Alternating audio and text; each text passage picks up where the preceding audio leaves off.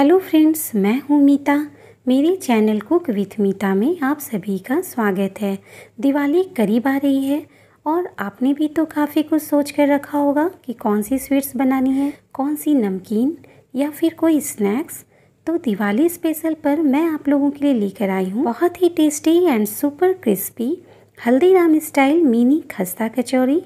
अगर आपने मेरे चैनल को अभी तक सब्सक्राइब नहीं किया है तो प्लीज़ सब्सक्राइब कर लें। मैं आपको इसमें कुछ टिप्स भी बताऊँगी, जिससे आपकी कचौरी फटेगी नहीं और बिल्कुल क्रिस्पी बनी रहेगी। तो चलिए मिनी खस्ता कचौरी बनाना शुरू करती हूँ।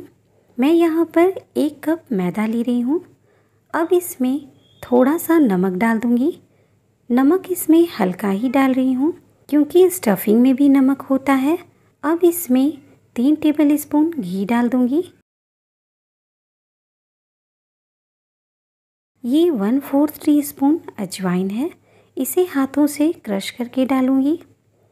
अब इन सबको अच्छे से मिक्स कर लूँगी। देखिए, हमें इसे इस तरह से हाथों से मसल कर मैदे को मिक्स करना है, ताकि मोयन मैदे में अच्छे से मिक्स हो जाए। आप इसे मिक्स करने में जल्दबाजी बिल्कुल भी ना करें। अच्छे से मिक्स करें। जब भी कोई स्नैक्स वगैरह बनाएँ तो घी का ही मोयन डालें। इससे लंबे समय तक ये क्रिस्पी बनी रहती है। जब मैदे में इस तरह बाइंडिंग होने लगे तो समझिए कि मैदे में मोयन परफेक्ट है। अब थोड़ा थोड़ा पानी डालकर इसे गूँथ लूँगी। एक साथ ज़्यादा पानी नहीं डालेंगे। हमें इसका बिल्कुल सॉफ्ट डो बनाना है और ज़्यादा मसलना नहीं है। बस हल्के हाथों से इसे बाइंड करना है।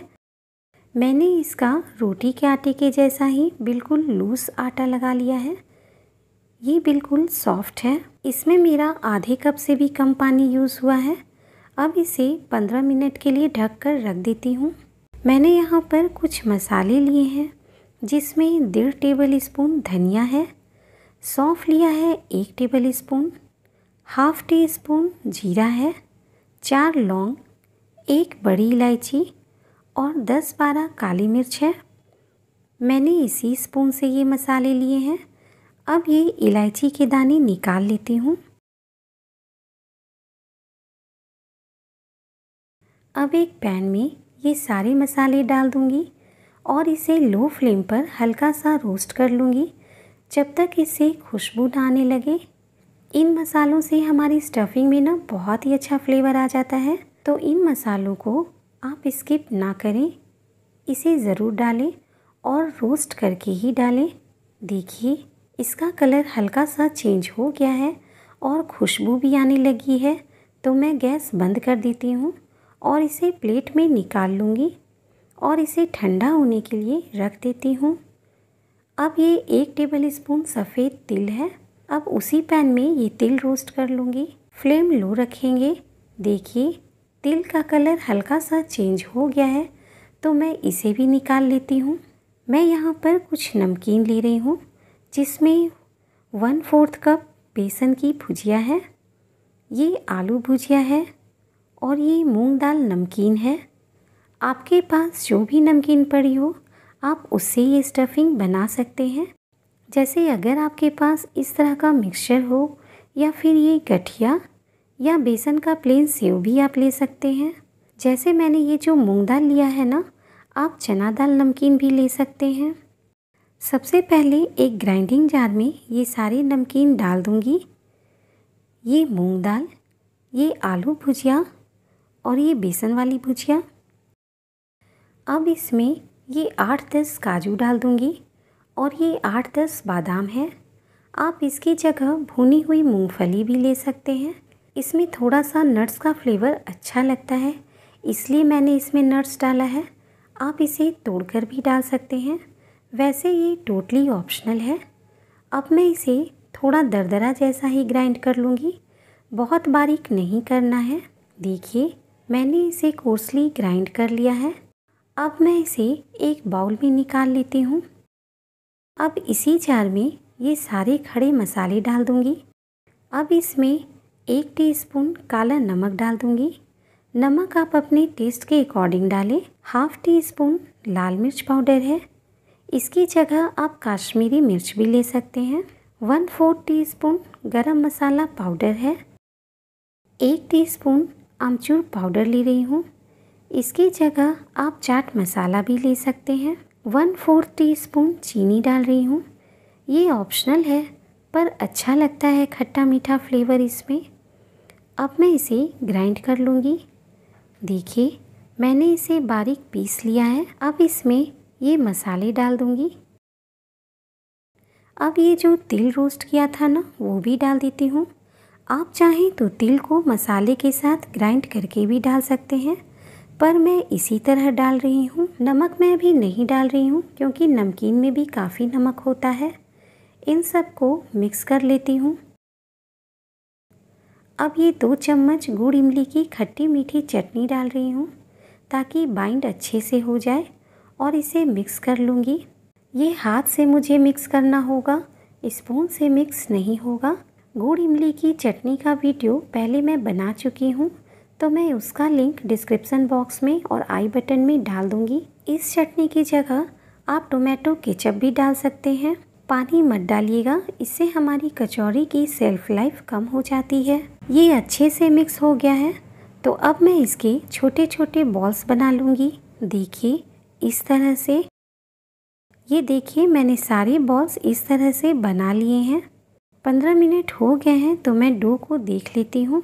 इसे एक बार फिर से नीड कर लेती हूँ और इसकी छोटी छोटी लोई तोड़ लूँगी और देखिए, इसका मैदा कितना सॉफ्ट है। मैं आपको पास से दिखाती हूँ। इसी तरह का डो हमें रखना है, बिल्कुल सॉफ्ट जैसा, और छोटी छोटी लोई तोड़ लूँगी। अब एक लोई को हथेलियों के बीच लेकर गोल कर लूँगी, और इसे कटोरी की तरह बनाकर थंब और फिंगर के बीच में रख लूँगी, और ये स्टफिंग बॉल इसके बीच में रख कर हल्का सा प्रेस करूँगी, और इसे इस तरह से कवर कर दूँगी, और एक्स्ट्रा मैदा इस तरह से गोल घुमाते हुए हटा दूँगी। इस तरह से कचौरी को हथेलियों के बीच घुमाकर चिकना कर लूँगी। कहीं से भी ये कचौरी क्रैक नहीं है। ये देखिए, बिल्कुल चिकना लग रहा है ना? अगर क्रैक हुआ तो कचौरी फ्राई करते वक्त फट सकती है। इस बात का आप ध्यान रखें। इसी तरह मैं दूसरी कचौरी भी बना लूँगी। जब हम कटोरी की तरह बनाते हैं ना तो किनारे का हिस्सा पतला करेंगे और ये बीच का हिस्सा मोटा ही रखेंगे। और इस बॉल को बीच में रखकर फिंगर से प्रेस करूँगी और थंब और फिंगर की हेल्प से कवर कर दूँगी। और जो एक्स्ट्रा मैदा है, उसे इसी तरह से गोल घुमाते हुए निकाल लूँगी और इसे अच्छे से गोल कर लेना है हल्के हाथों से। इस तरह से मैं कचौरी बना लूँगी। यहाँ पर मैंने ऑयल को गर्म होने के लिए रख दिया है। ऑयल को बहुत ज़्यादा गर्म नहीं करेंगे। मैं एक बार चेक कर लेती हूँ। देखिए इससे हल्का हल्का बबल निकल रहा है। हमें बस इतना ही गर्म ऑयल चाहिए। अब मैं कचौरी को एक बार गोल करते हुए ऑयल में डालती जाऊँगी और फ्लेम को लो ही रखेंगे। हल्के हाथों से इसे पलट दूँगी। हमें कढ़ाई में इतना ऑयल डालना है जिससे सारी कचौड़ियाँ अच्छे से ऑयल में डूब जाएँ। देखिए, इसमें हल्का हल्का कलर चेंज होना शुरू हो गया है। इसे थोड़ी देर और होने देती हूँ। फ्लेम को लो ही रखूँगी। एक बैच फ्राई करने में लगभग 12 से 15 मिनट लग जाता है। देखिए कचौड़ी में अच्छा गोल्डन कलर आ गया है तो अब मैं इसे निकाल लेती हूँ। अभी ऑयल काफ़ी गर्म है तो थोड़ी देर के लिए गैस बंद कर देती हूँ और ऑयल का टेम्परेचर थोड़ा कम होगा, तब सेकंड बैच फ्राई करूँगी। इसी तरह मैं सेकंड बैच भी फ्राई कर लूँगी। फ्लेम लो रहने दूँगी। अब इसे हल्के हाथों से थोड़ा सा हिला दूँगी। देखिए, कलर चेंज होना शुरू हो गया है। अगर आपको मेरी रेसिपी पसंद आ रही है तो प्लीज़ लाइक, शेयर और सब्सक्राइब करें और बेल आइकन को प्रेस करना बिल्कुल ना भूलें। कचौड़ी का कलर अच्छा गोल्डन हो गया है तो मैं इसे निकाल लेती हूँ। इसे आप शाम की चाय के साथ एंजॉय करें या किसी मेहमान के आने पर खिलाएँ।